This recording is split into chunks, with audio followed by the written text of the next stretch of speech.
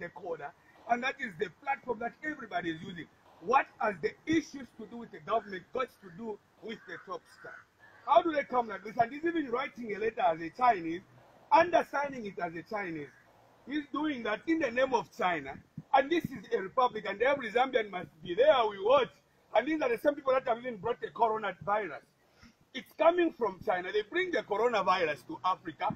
They are making us desperate. They are disturbing our economies.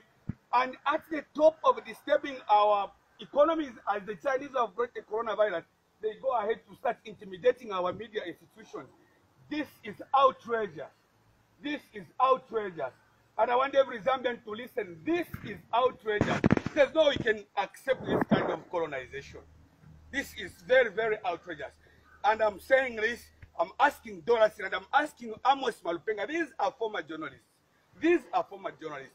I think for Dora and Malupenga, they're supposed to swallow their pride. This is the same Malupenga. He was the main, he was the permanent secretary of the Ministry of Information when they shut down the Post newspaper. And he's bringing the same attitudes again. Are we going to operate as opposition parties, as opposition people in this country? If they are going to make sure that all of you private media are going to be afraid of giving us coverage, being fair to all of us, what kind of intimidation is this? What kind of a democracy is this? Chiluba never did this. Mwanawasa never did this. Arabi never did this. Did you hear of Mwanawasa closing any media institution? What is so special about this kind of a regime? And you are calling yourself a humble president? You are calling yourself a Christian president?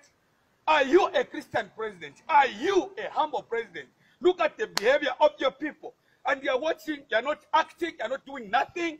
Are you a humble president? Are you a Christian president? Where is John Sangwa? Where is John Sangwa? Why are you trying to behave like this? So we cannot speak our mind just because of you. Just because of you. You want to kill democracy. Okay, what they, what they want is, can you declare dictatorship? Declare dictatorship. That's so much I'm going. I'm going. Let them declare dictatorship so that we understand we are under a despot government. Thank you so much. Thank you so much.